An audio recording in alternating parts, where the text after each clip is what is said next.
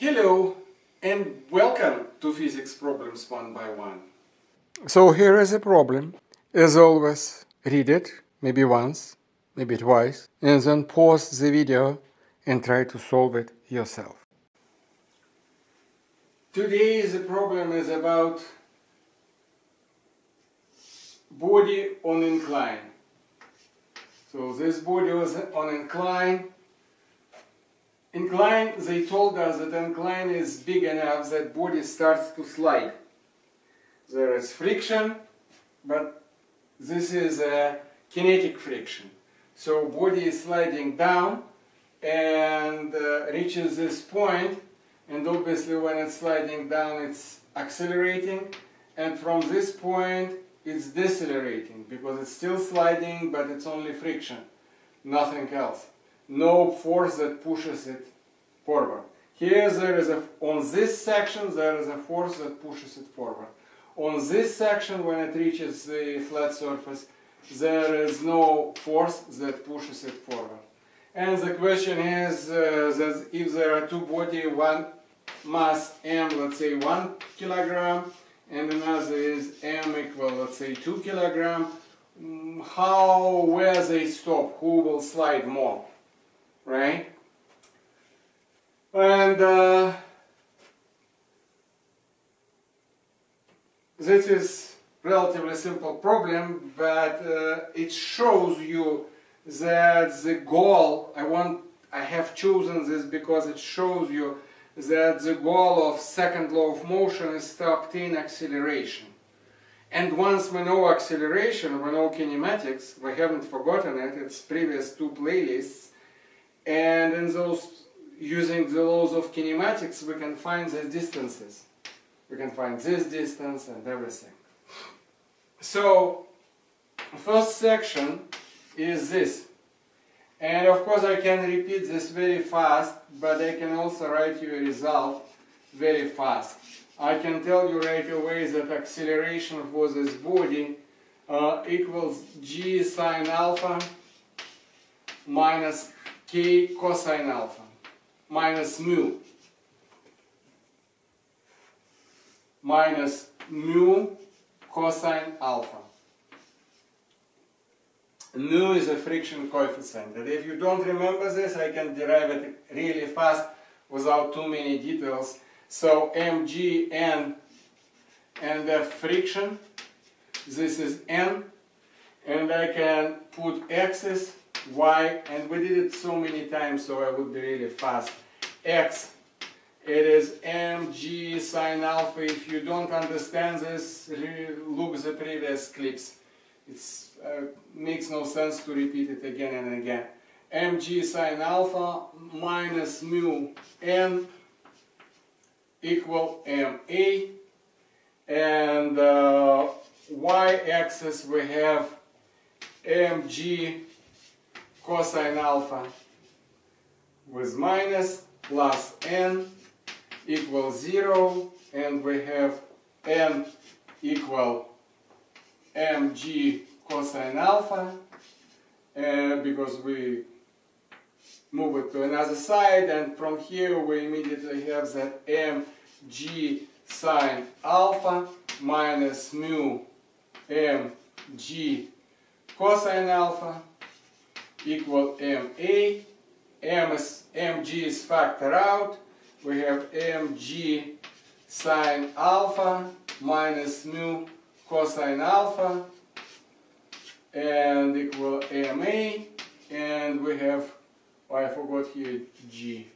And we have this result that A equals G sine alpha minus mu cosine alpha and that's I can even write it here because this is kind of generic result that body slides with this acceleration over incline.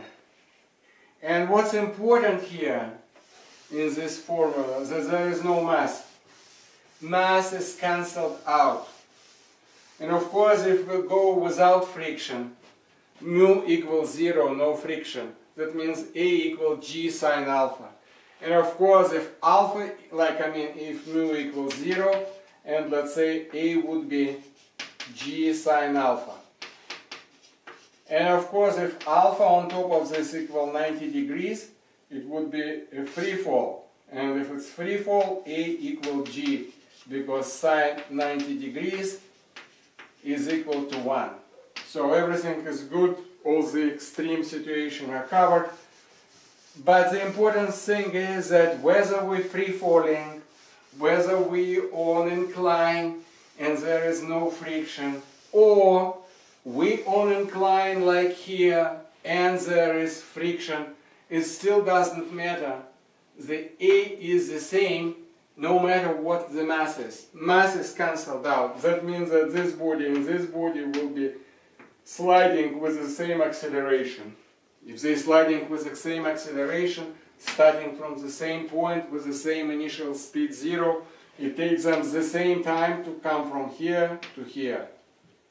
The same time, the same distance, the same final speed would be the same because final speed would be initial plus AT, where t, t is the time for travel and a is this value. So the speed at this point would be the same for both body regardless.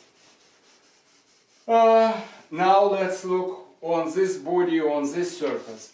When this body on this surface there is only mu n and there is n and there is mg and our axis would be x here and y here and our second law of motion in projections. I'm skipping a couple steps but we did it so many times. So along x we will have minus mu n equal ma and along y along y we will have n minus mg equals 0 because nobody is accelerating here and we immediately find n equal mg from this and we plug it here and we have a equal ma equal minus mu mg right minus mu mg and we cancel m and we have a equal minus mu g. And again, mass is cancelled out. We're starting with two bodies, m and m big, m small and m lowercase and m uppercase with the same initial speed. And we obtain this initial speed from this acceleration. And of course we go the same distance before we stop. And we can find this final stop. Final speed is 0, initial speed is v0 minus at, and a in this case is this. We find the time, we find the distance, that will be all the same. The only thing that I want to add, that when I wiped it out, a equal minus mu g. But basically we can receive this result without all of this. We could obtain this result simply by looking here. Because this surface is the same incline where alpha equals 0. And if alpha equals 0, sine alpha equals 0. And cosine alpha equal 1. And if I plug this here and here, I will receive A equal G. This would be 0 instead, and this would be minus mu and this would be A equal minus mu G. And this is exactly the same result. So I did it on purpose, but I could uh, apply this formula to this case because this is the case where alpha equals 0. This angle is equal 0. I hope you like this problem. And the thing to like here is that we obtained, we used second law of motion extensively.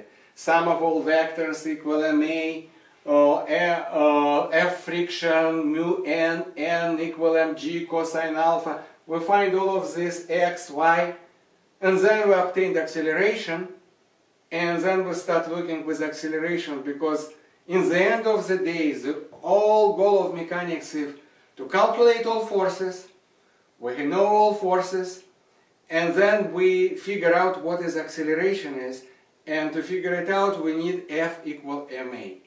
So we tie the reason for the movement, which is the force, one body pushes another, or pulling another body, they interacting with each other.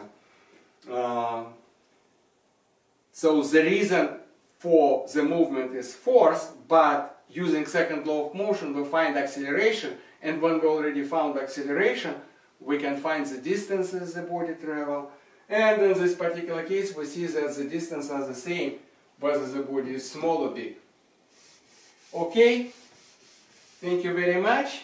Like, subscribe, question, see you next time.